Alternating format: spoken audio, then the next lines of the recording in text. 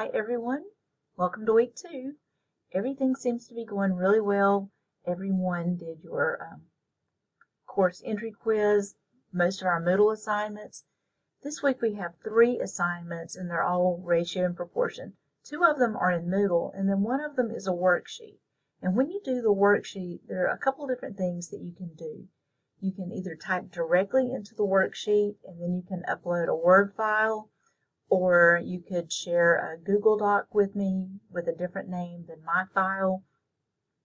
The other thing that I do is I will print it, print the worksheet, write on the worksheet, and then I take a picture of it with my phone and I can upload it as a PDF. I use um, Simple Scanner with um, with an Android phone, but you can use Cam Scanner with an iPhone.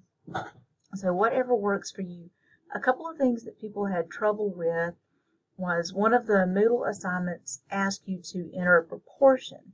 And so you'll enter a fraction equal to another fraction.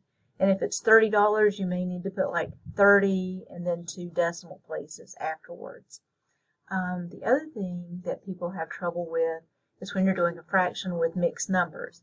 So if you had 4 and 2 thirds, you could change it to 4.6667, that would be fine. Or you could change 4 and 2 thirds to an improper fraction. 3 times 4 is 12, plus 2, and write it as 14 thirds. Whatever works for you. Again, any frac, any calculator that you want to use is fine with me. Please reach out if I can help you. Send me an email, or you can text me at 828 572 3334. So, hope you have a really good week.